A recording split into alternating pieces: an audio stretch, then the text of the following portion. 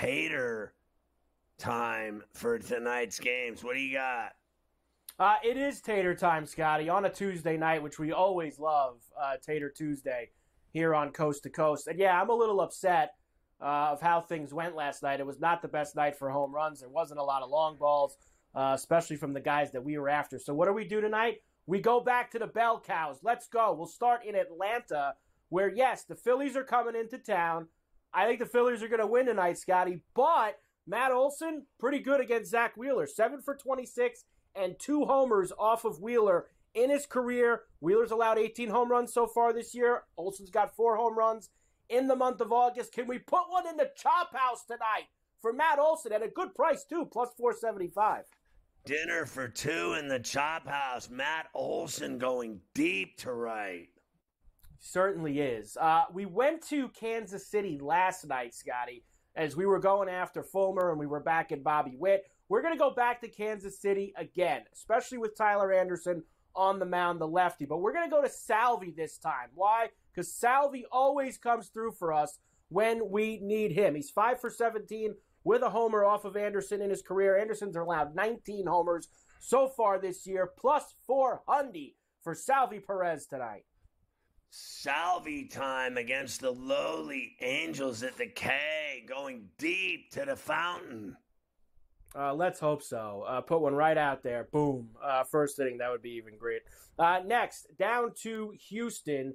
Astros red hot uh, with the Sox in town. And I always get excited when I see that Nick Pivetta uh, is on the card. Why? Because Pivetta stinks. He's allowed 21 homers in 100 innings uh, so far this year. That is not a good ratio.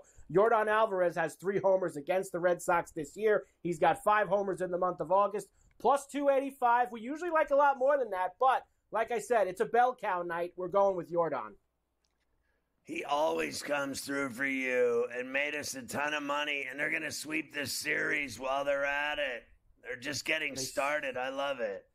They certainly are. Uh, next, the Cardinals and the Brewers. We got some good history with Rhys Hoskins here tonight, pitching, uh, going against Fedde. Nine for 29, three homers, in his career. Fedde has allowed two or more homers in three of his last six starts. Hoskins has been pretty good lately, plus four bills for him tonight at Bush. Give me Hoskins and a little Willie Adames.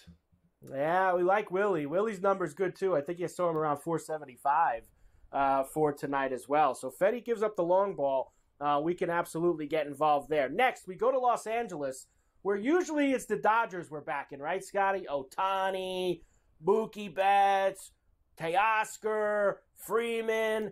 Those guys are probably maybe home night, but like you said, Miller's been very good. We're going to go on the other side because Walker Buehler has been awful. Uh, he's allowed 11 homers in 40 innings this year. Came back in his last start, wasn't any good either.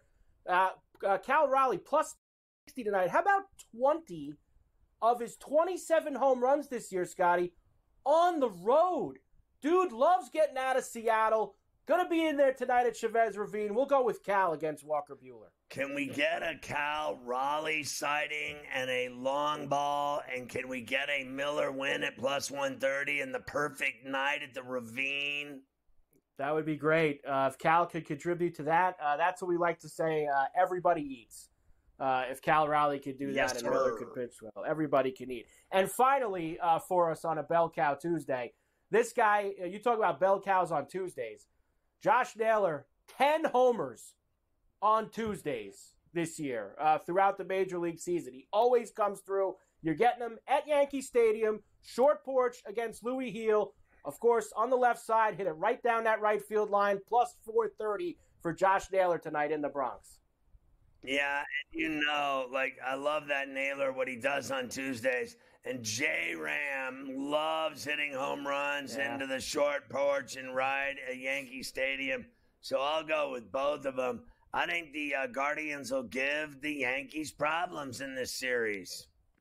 I do too. So there you go. Uh, for tonight, we are going to go with Salvy, Yordan, Olson, Hoskins, Cal Raleigh, Josh Naylor. I told you there's other pitchers out there if you want to target them. Rockies and Nats, Gomber and Herz, both guys stink. You got Berrios on the Blue Jays, Kremer and Quintana and the Orioles and the Mets. Lots of guys who give up lots of long balls uh, out there for us to go after. Let's get it.